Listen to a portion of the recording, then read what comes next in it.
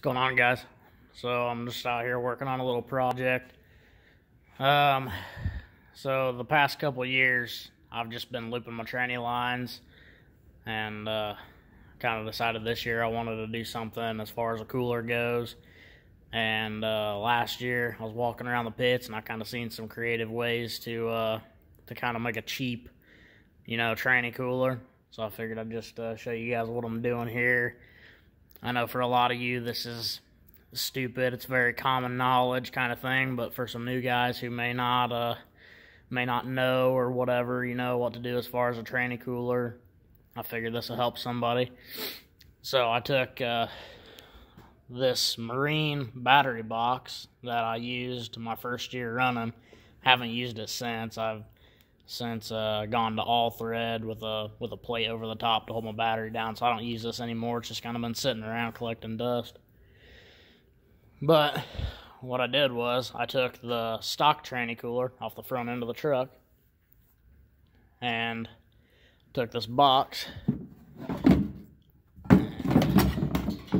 Basically just drilled a couple holes to fish my uh, rubber lines through and I have um, hose clamps on top to hold it to hold it still. You know you can shake it and shit so when you put it back down in the box it's easier. But uh, yeah basically that's that.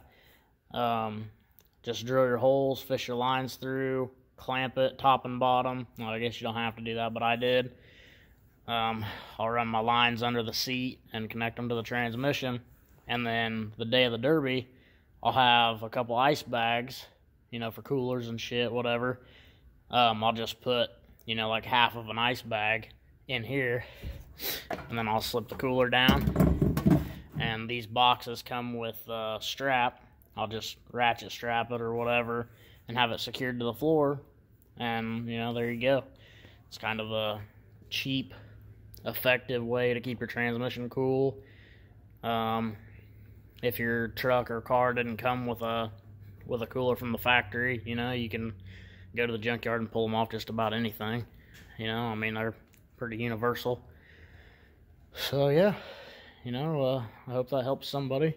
You know, like I said, uh, for a lot of you, this is common knowledge. It's kind of stupid, whatever, but hey, if I can help somebody, then hey, why not make a video about it? You know what I mean? Um, you guys have any more tips or tricks leave them down in the comments. Uh, leave a like on the video if you liked it. Uh, feel free feel free to subscribe, and yeah, I'll catch you guys on the on the next one.